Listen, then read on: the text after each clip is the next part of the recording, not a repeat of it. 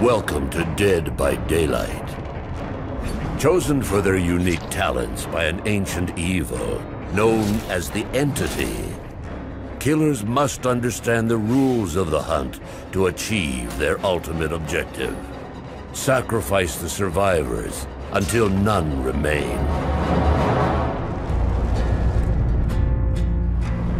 To accomplish this, you will chase down, capture, and hook survivors before they can escape the trial grounds. But first, you'll need to find them. Survivors will attempt to escape using exit gates located on the edges of the map. To power the gates, survivors must repair five of the seven generators scattered across the map. Maps in the entity's realm change each time you play. Neither the survivors nor the killer know what to expect and will begin each trial on equal footing. Drawn to these generators like moths to a flame, they're the perfect place to begin your hunt. Patrol unrepaired generators marked by a red aura in search of your next victim. Impede progress and extinguish hope by damaging partially repaired generators. Keep an eye out for loud noise notifications. These are created when survivors fail generator skill checks or perform rushed actions. If only one survivor remains, an escape hatch will open somewhere on the map. An open hatch creates an ambient sound. Find it and close it before the survivor can make their escape. Closing the hatch will power the exit gates, even if generator repairs have not been completed. Exit gates take some time to open, so use these final moments wisely to locate the remaining survivors before they can slip through your grasp. Once an exit gate has been opened by the survivors, or you find and close the escape hatch, a countdown will begin, culminating in the endgame collapse. Any survivor remaining in the trial when the countdown ends is claimed by the entity.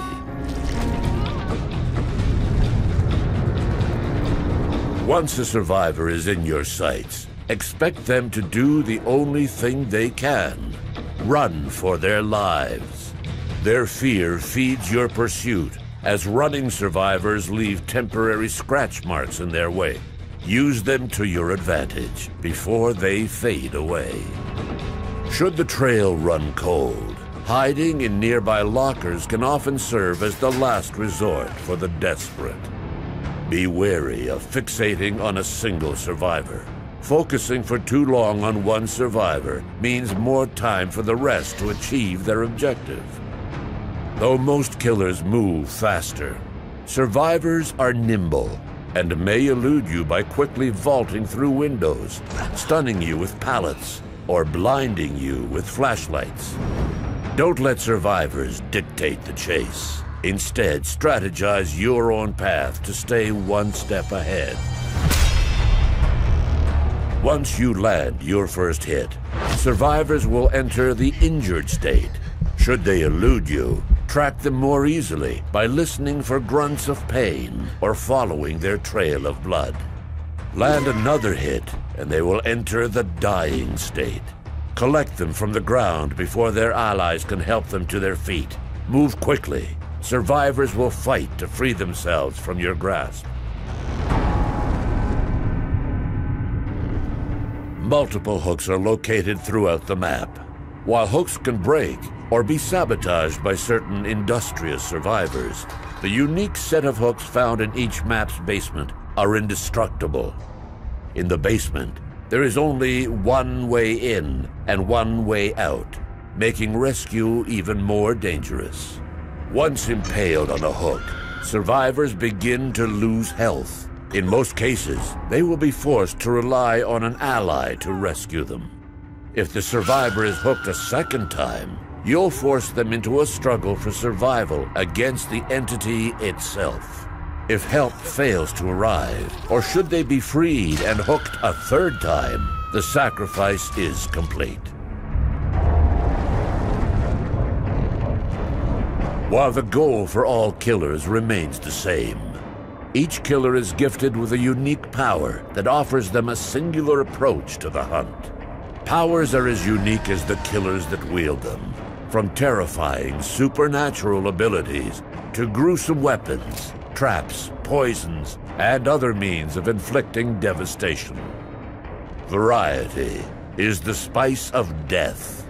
Experiment to find a killer whose power matches your playstyle and maximize the torment you deliver in each trial. As a killer in the entity's realm, you stand alone. An apex predator surrounded by prey. Your prey may prove cunning, but remember these basics and take one step closer to mastering the art of the hunt in Dead by Daylight.